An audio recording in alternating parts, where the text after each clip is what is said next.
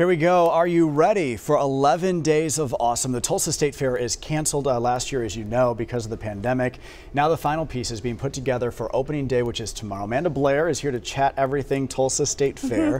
uh, it's great to see you. Good to see you. Uh, and great to have the fair back as well. We're very um, excited. I remember interviewing Mark Andrus last year when the fair was canceled and how broken he felt. Mm -hmm. how did you feel around this time last year?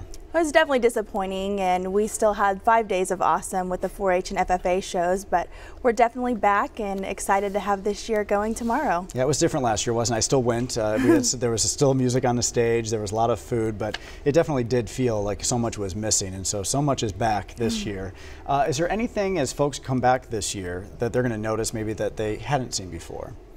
Well, we've got a lot of great new ground shows. Uh, the Jetpack Flying Circus, which is, has a jet ski flying a human above the sky, should be very interesting. We've also got a great dog show with Perandis, and he's added a new element with a stunt dog, a jumping dock dog act. So that should be very fun, and who doesn't love dogs?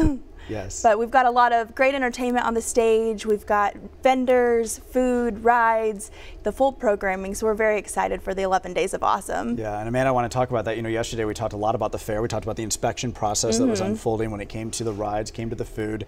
Uh, we mentioned yesterday 160 vendors, if I recall correctly, will be on hand. Yes. Uh, and even some new rides this year. We do. We've got about six new rides. In total, we have 66 rides. And with your Mega Ride Pass, you can ride those rides all day, every every day and get into the fair. Uh, I want to talk too uh, about you know the fact that we are still in the middle of a pandemic. Uh, I know that y'all are taking precautions uh, when it comes to COVID-19. Talk a little bit about that. Safety is always top priority at the Tulsa State Fair, and we've got a great maintenance and EVS team who really strive to clean our facilities all year long, but we'll have extra emphasis on that during the Tulsa State Fair. With the high-touch services, we'll have great, we have 10 new quad sinks, and those are hand washing stations, so those will be strategically placed throughout the grounds to make sure we're providing a safe, clean environment for the patrons. We were chatting during the commercial break about how fun your job is because you're hosting all these events all year round. Uh, what are some of your favorite events? I mean, obviously the fair I'm sure is probably top of the list. Some others that come to mind? The fair is definitely number one for us, but I love going to the boat show, Chili Bowl, the Home and Garden show.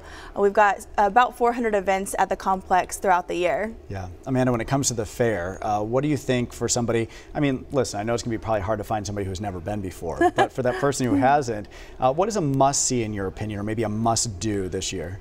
I think a must do is just getting out there and enjoying the atmosphere with your family and friends, making memories. You know, that's what it's all about is tradition, you know, seeing the livestock shows, you know, introducing people to elements that they're not exposed to on a regular basis, uh, providing that educational element. Of course, the rides and, you know, my favorite must do is, of course, eat away uh, across the midway with uh, my favorites, fried pickles. Yeah, I remember covering this last year and, you know, when it was canceled and the fact that, you know, it's a tradition for many many people. Mm -hmm, you know, I mm-hmm, remember interviewing a woman who had never missed one. Mm -hmm. uh, Nancy comes to mind. She says she always goes for her birthday every year. So it is so great to have it back for 11 full days this yes. year. Yeah, Amanda, great to see you. Thank uh, you. Thank you for being with us. Of course, we wish you, Mark, and your team uh, an incredible 11 days of awesome. The fair kicks off tomorrow, opens up 9 a.m. tomorrow morning, and we're back right after this.